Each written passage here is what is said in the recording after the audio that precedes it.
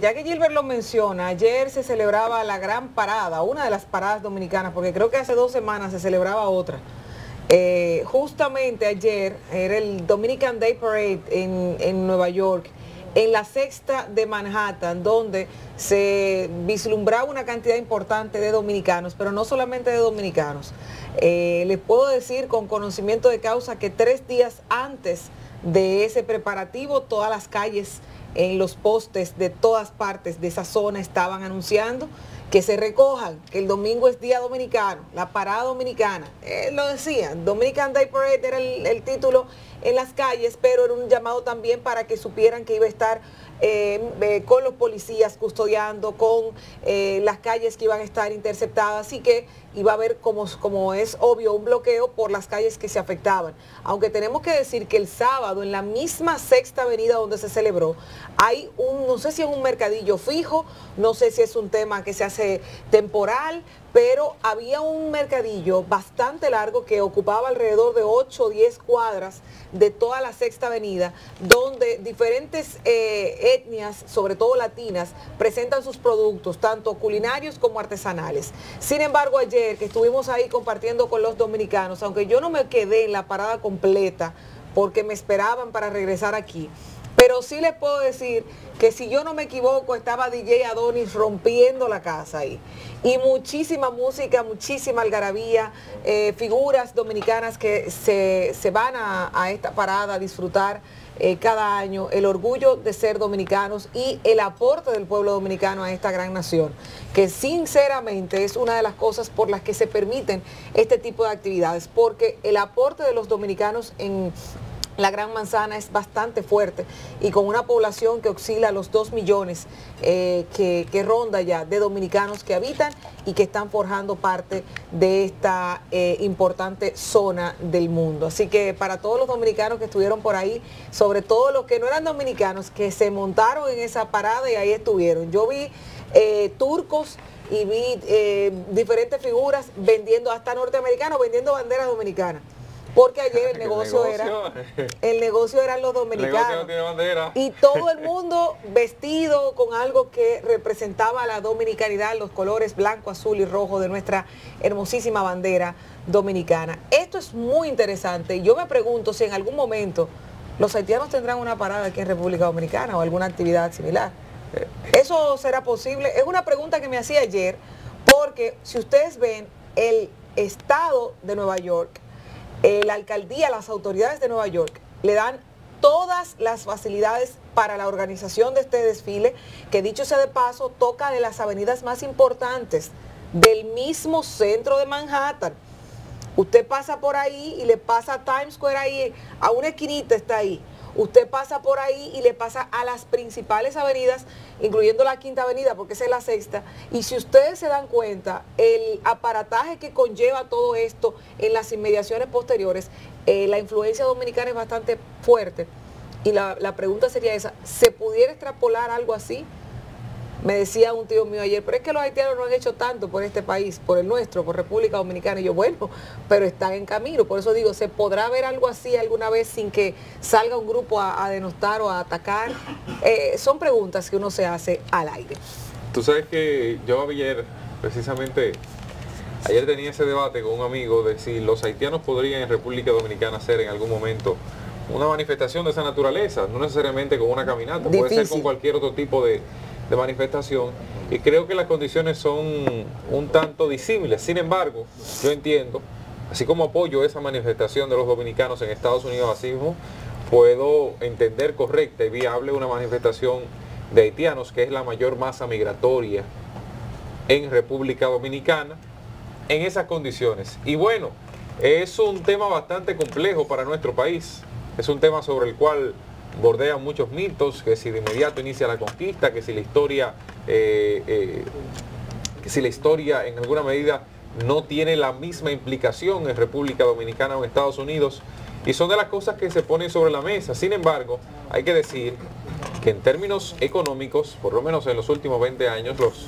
haitianos han aportado en proporción más a República Dominicana en la economía que los dominicanos a Nueva York y Nueva York no es pues. solo una ciudad. Hay que responderle a mi tío entonces y, que sí. y eso es un tema sumamente complejo y que la dominicanidad a veces nos lacera el corazón y nos pone a entender cosas por encima de la, de la otra, pero eh, en alguna medida, en alguna medida, yo creo que es bueno y válido.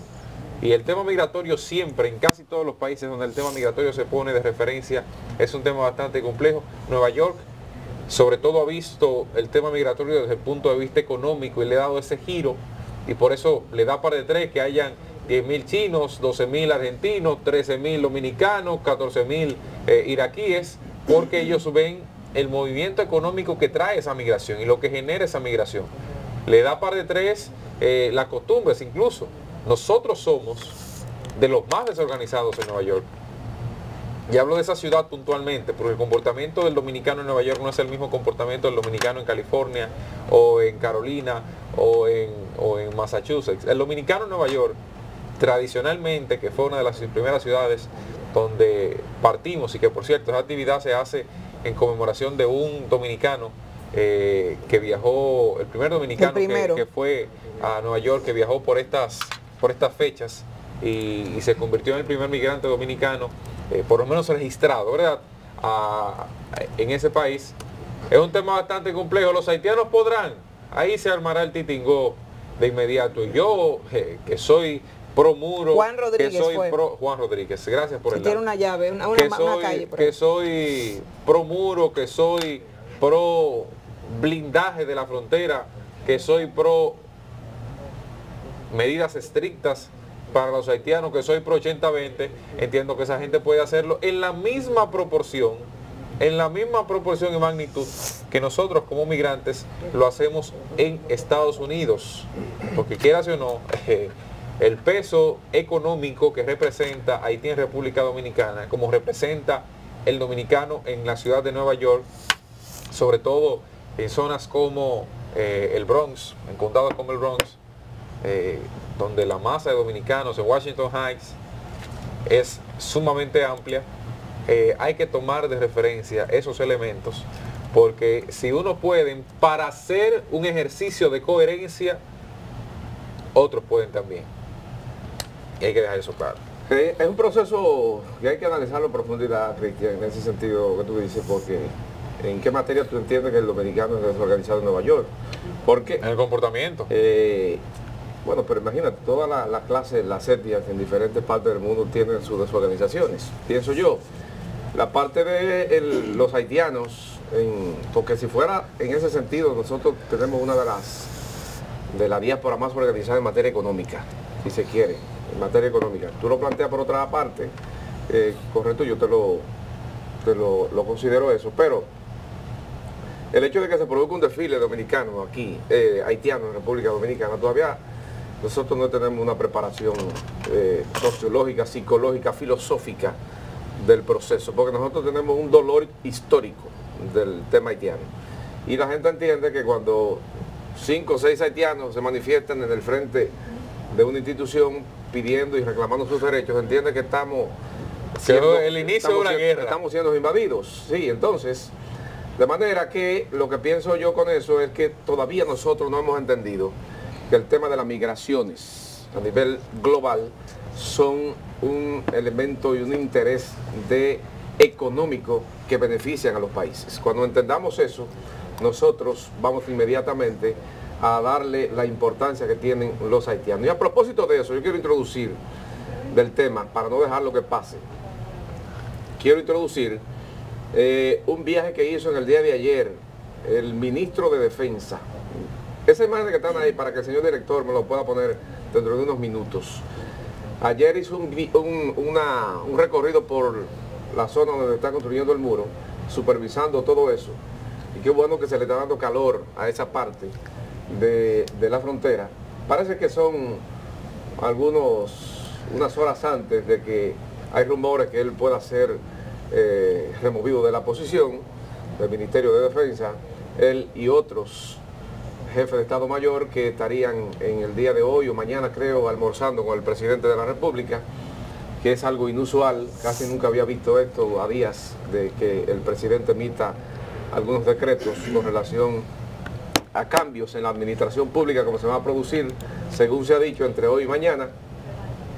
Bueno, pues el ministro de Defensa, eh, caramba, se dio una visita por allá por la frontera. Pero a propósito, miren lo que piensan, a propósito ustedes trajeron el tema haitiano, miren lo que piensan los haitianos, algunos haitianos, y creo que esta joven que es de allá, de Haití, pero vive en República Dominicana, mire el concepto que ella tiene de República Dominicana sobre las migraciones de sus nacionales al país y lo que aportan.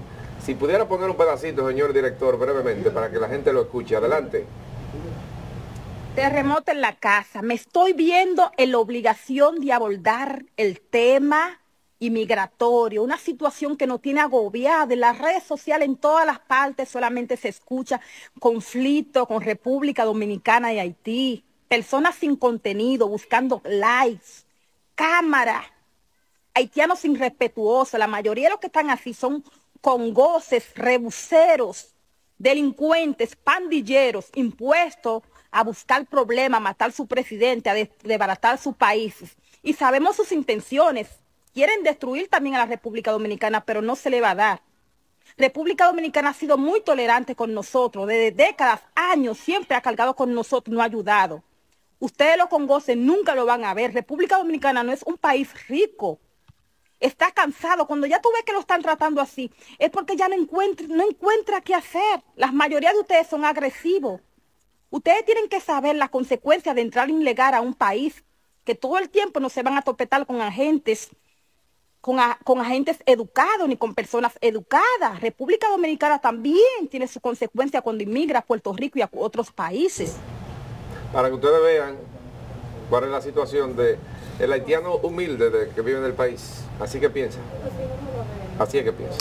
Bueno, señores, pasamos a otro tema. El tema que tiene la República Dominicana, sobre todo a todos los feligreses católicos pendientes de la agenda de este año jubilar eh, de la coronación de los 100 años de la Virgen de la Alta Gracia. Fue en 1922.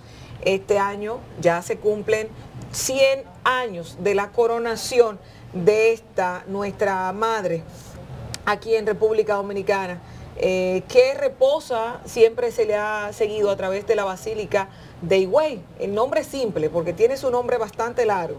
Y eh, hay un archivo de Monseñor eh, Ramón Benito de la Rosa y Carpio, que ha escrito sobre los temas de las investigaciones y de las tesis que él ha manejado sobre la historia de la coronación canónica de la Virgen de la Altagracia, que él toca puntos muy interesantes de cómo, cuándo y qué se dieron, pero que todo el pueblo dominicano sabe que esta, que es una de nuestras madres, eh, República Dominicana tiene dos advocaciones marianas. Es eh, María con la Virgen de la Altagracia y la Virgen de las Mercedes. ¿Son dos Marías? No, no son dos Marías. La Virgen de Guadalupe, la Virgen eh, de Chiquinquirá, cualquiera, no son Marías diferentes. Es la misma, pero se les conoce como advocaciones, que tiene que ver con el lugar y la historia, como la Virgen de Lourdes, como la Virgen de Nuestra Señora de Fátima. Todas son la misma María con diferentes eh, elementos por el lugar y la fecha en que fueron eh, descubiertas o eh, mencionadas o nombradas.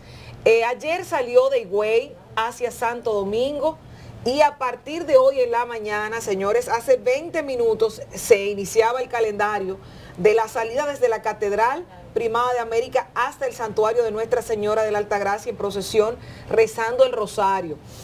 Eh, luego a las 6 de la mañana estaría llegando un poquito más eh, adelante y estamos e, esperando que nuestra compañera de Yarina Luciano nos avise en qué parte está, porque esto fue de ayer desde Higüey, saliendo para Santo Domingo en esta procesión hermosa.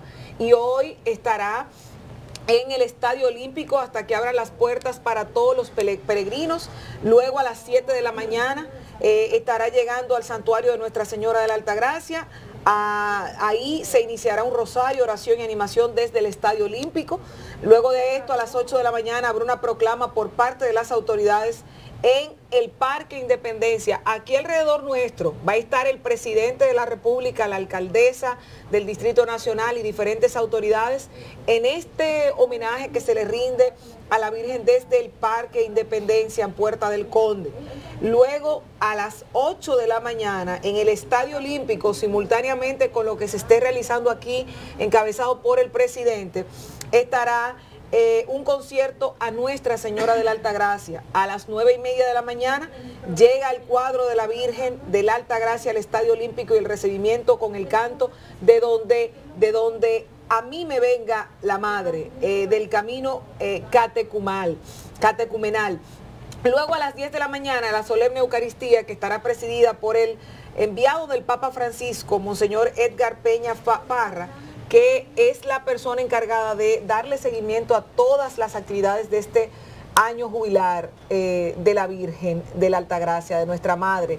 Eh, protectora, de una de las dos que les decía, eh, y que el título no importa, siempre y cuando sea la que nos guíe y nos cuide. Hay mucha gente, y dentro de estas me, vinculo gracias a, a, los cursillos de cristiandad, del movimiento de matrimonio feliz y todo lo demás de los cursillos que, hacen, que promueven el tema de la lectura y del rezo del rosario, que, que, mencionan la importancia de una nación vincularse espiritualmente a este tipo de temas. ¿Por qué?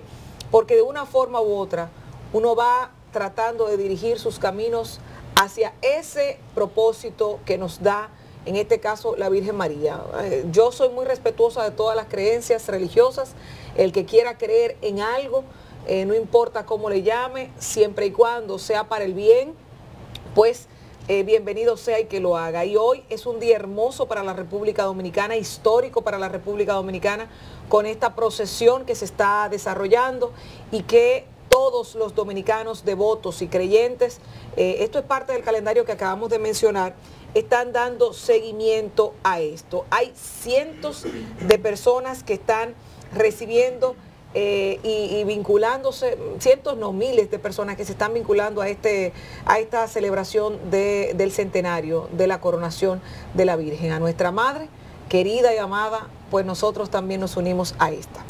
Bueno, más adelante nosotros vamos a tener a nuestra compañera Deyanira Luciano en las calles, en diversos puntos de la capital, sobre, sobre cómo avanzarán los trabajos en este día de esta actividad que me parece la primera vez eh, que la Virgen, o que el cuadro de la Virgen es traída a la capital eh, dominicana y bueno, eso tiene una, una, importante significación, sobre todo en la vida de aquellos que seguimos las tradiciones católicas y las creencias de esta religión. Miren, eh, brevemente, el pasado viernes la Dirección de Ética e Integridad Gubernamental, a solicitud de la Dirección General de Compras y Contrataciones, presentaba un informe sobre lo que entendía había ocurrido con el caso, uno de los casos de presunta corrupción que se han escenificado en este gobierno,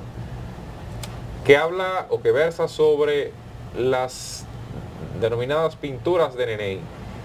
Que bueno, es el caso aquel donde se presenta el resultado de un trabajo de investigación que lleva la Dirección General de Ética e Integridad Gubernamental.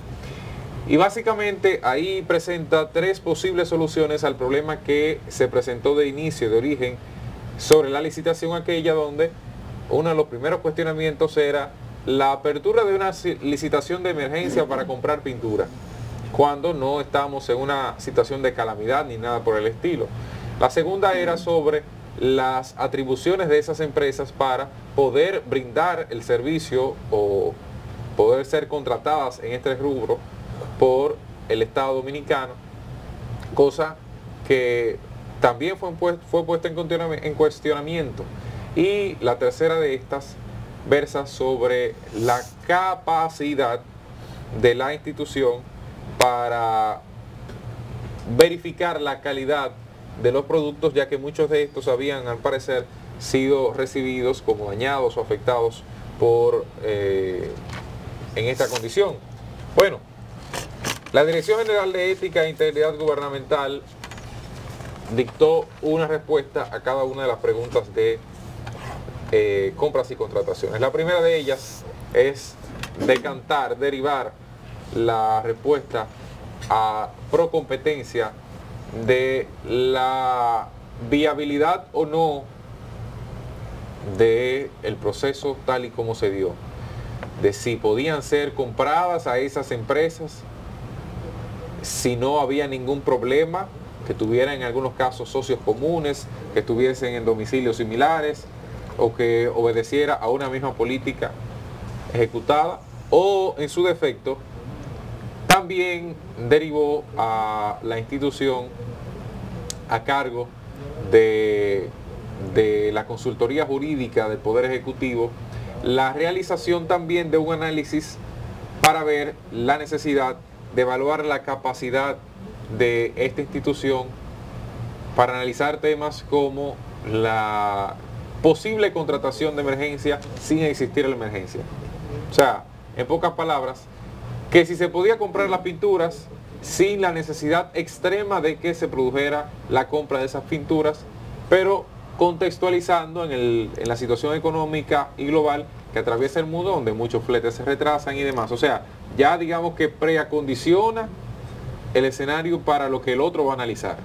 O sea, yo te envío a ti para que tú me analices y me digas si esto está bien o no, pero tome en consideración estos factores. Enmárcate en ese framing. No te salgas de ahí.